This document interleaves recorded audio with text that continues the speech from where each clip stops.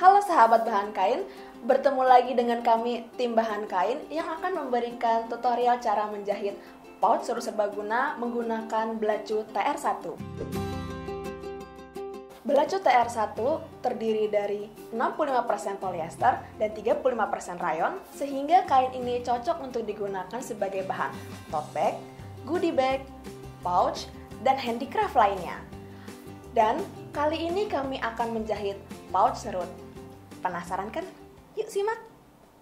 Pertama-tama, siapkan alat dan bahan seperti kain belacu TR1, gunting cekris, jarum pentul, dan jangan lupa untuk siapkan mesin jahit.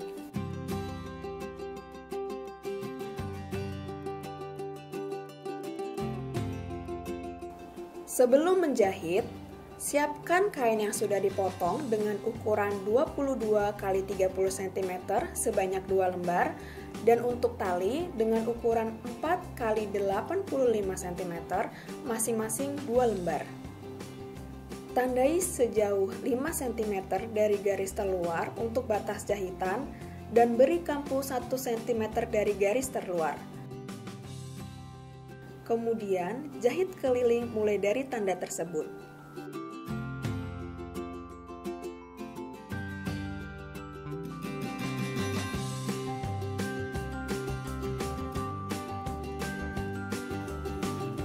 Jika sudah dijahit keliling, lalu gunting secara diagonal pada dua bagian siku bawah kantung dan di batas jahitan. Untuk membuat pinggiran selongsong, jahit pada bagian ini agar terlihat rapi.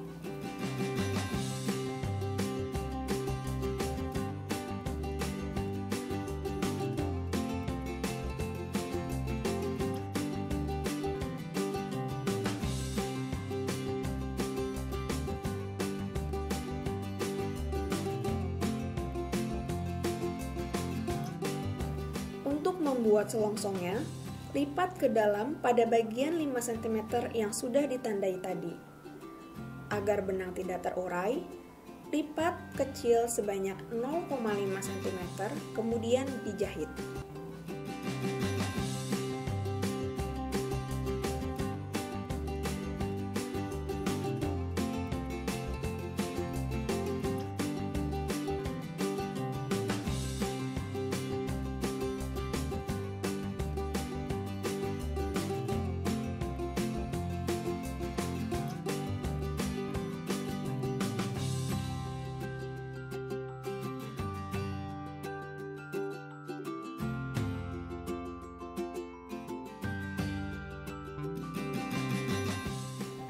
Untuk menjahit tali, lipat kedua sisi ke dalam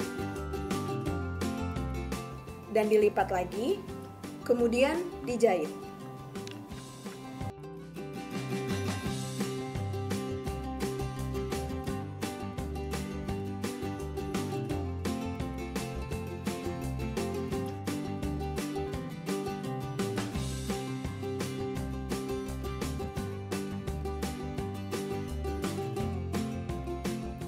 Oke sahabat bahan kain, langkah terakhir adalah memasukkan tali ke dalam selongsong pouch agar dapat diserut. Nah, untuk memudahkan, bisa gunakan peniti untuk membantu memasukkan talinya. Nah,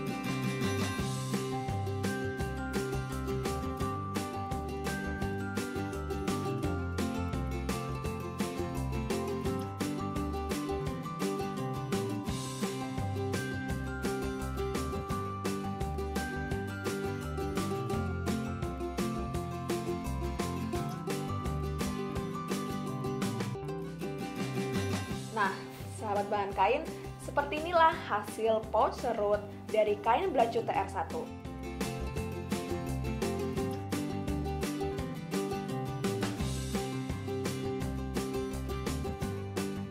Bagi sahabat bahan kain yang ingin membeli kain belacu TR1, bisa kunjungi link yang sudah tertera di deskripsi. Sekian tutorial dari kami. Nantikan tutorial kami berikutnya. Jangan lupa untuk like, komen, share, dan yang paling penting jangan lupa untuk subscribe. Dadah!